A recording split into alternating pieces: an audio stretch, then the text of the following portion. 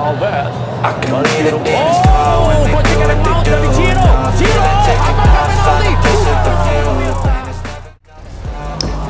That's why we lose a football game. But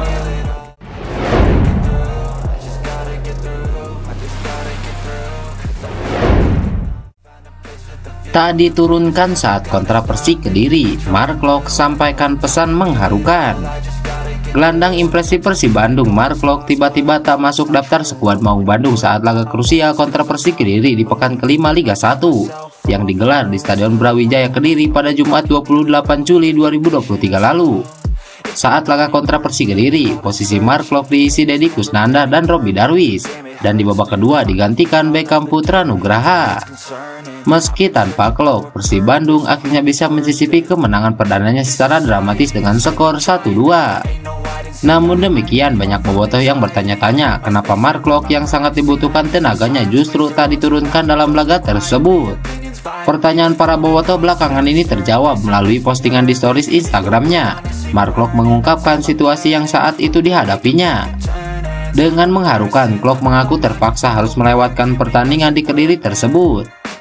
Hai teman-teman, saya sedang sakit dan tidak bisa bermain hari ini. Terima kasih untuk semua pesan Anda, tulis Mark Klok di akun Instagram pribadinya. Seperti diketahui, pemain naturalisasi asal Belanda itu merupakan salah satu pemain yang tak tergantikan dalam skuad Persib Bandung. Kehandalannya dalam mengelola bola baru-baru ini terbukti dengan terpilihnya Mark Lok sebagai man of the match saat Persib Bandung bermain draw 2-2 kontra Dewa United di Stadion GBLA pada pekan lalu. 5 fakta mengejutkan Persib Bandung taklukan Persik Kediri. Liga 1 diketahui memasuki pekan kelima. Pada pekan tersebut, Persib Bandung melawan Persik Kediri. Dari hasil pertandingan tersebut, Persib Bandung berhasil mengalahkan Persik Kediri dengan skor 1-2. Diketahui dua gol Persib Bandung masing-masing dilesatkan oleh Siro Apes dan Rian Kurnia. Adapun satu gol Persik Kediri ditorehkan Flavio Silva.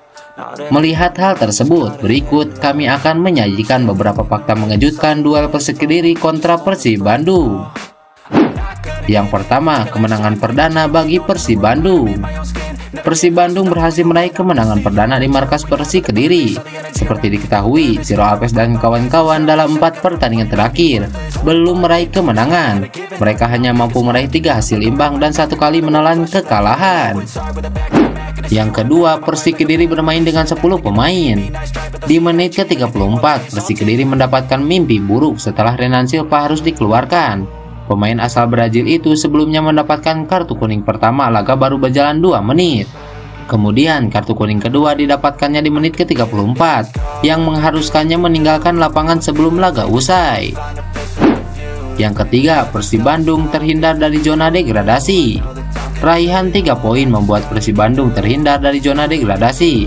Setelah sebelumnya mereka berada di peringkat ke-16, kini Maung Bandung langsung naik ke peringkat ke-10 dengan 6 poin. Yang keempat, Ciro Alves terbaik. Ciro Alves mampu tampil luar biasa bersama Persib Bandung.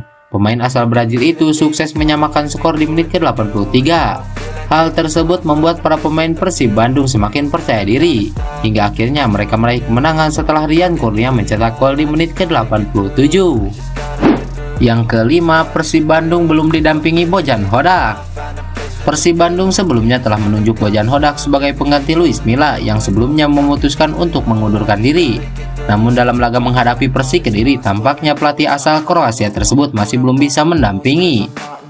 Bojan Hodak diperkirakan akan mendampingi Persib Bandung di pertandingan selanjutnya menghadapi Bali United di Stadion Gelora Bandung Lautan Api pada pekan depan. Persib Bandung nyali Persija, Thomas Doll singgung kini sekelas juara Bundesliga. Kemenangan perdana Persib Bandung membawa tim kebanggaan Boboto itu berhasil menyalip tim berjuluk Macan Kemayoran. Persib Bandung berhasil menyalip Persija Jakarta di klasemen sementara Liga 1 setelah mengalahkan Persik Kediri 1-2 di Stadion Brawijaya.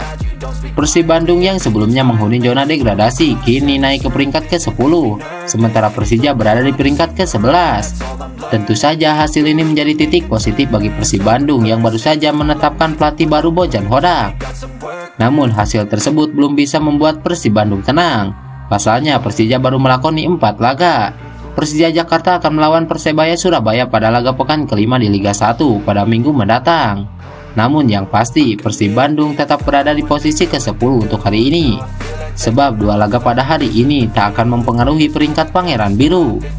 Pelatih Persija Jakarta Thomas Doll menganggap level yang dimiliki timnya sudah berbeda bila dibandingkan dengan tim-tim Liga 1 Indonesia lainnya. Thomas Doll berani menyebut bila Persija Jakarta disamakan dengan klub raksasa Bundesliga Jerman yaitu Bayern Munchen. Hal tersebut disebabkan karena setiap tim yang berhadapan dengan Persija Jakarta memiliki motivasi berlipat untuk memenangkan pertandingan. Thomas Doll menjelaskan tim-tim yang melawan Persija tampil berbeda. Menurutnya tim melawan akan menjadi lebih termotivasi untuk memberikan kekalahan bagi Persija Jakarta. Anda bisa melihat siapa saja yang melawan Persija anda dapat mempelajari video pertandingan mereka. Tetapi begitu bertemu, mereka selalu memberikan penampilan yang lebih, kata Thomas Doll. Kondisi ini bisa disamakan dengan posisi Bayern Munchen. Di Liga Jerman, tim lawan bisa bertarung habis-habisan untuk memberikan kekalahan pada tim raksasa tersebut. Hal ini juga dia rasakan saat timnya melawan Persita Tangerang. Tim berjuluk Pangeran Cisadane tersebut tampil apik dan sukses meraih kemenangan saat bertemu Persija Jakarta.